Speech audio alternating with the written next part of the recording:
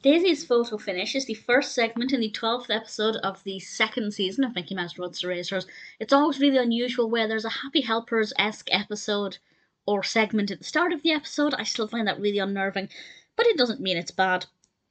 It's just something that I find quite peculiar with the second season.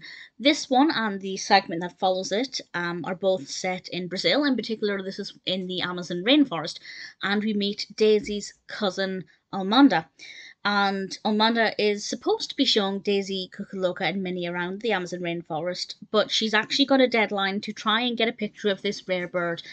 And Daisy and the gang say that they will help her to try and find it. Unfortunately, everything Daisy does just gets in the way and she keeps scaring the bird off, and it seems like they're never going to be able to get this photo. Will they ever get it? obviously I'm not going to say exactly what happens there, but it was a fun enough narrative. Um, there was enough wildlife in it that even though there wasn't a proper tour of the rainforest, it definitely felt like a different setting. Almanda is quite a nice character. I really liked her in this one.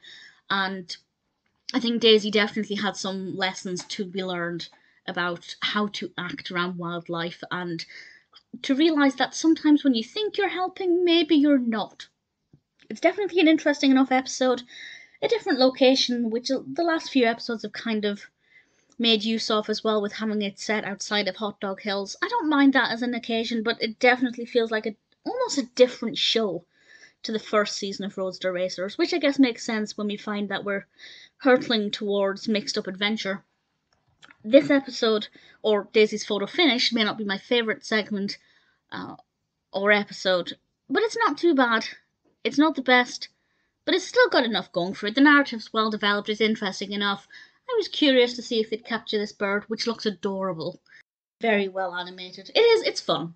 Looking back on it, it's a fun episode, but definitely not a personal favourite.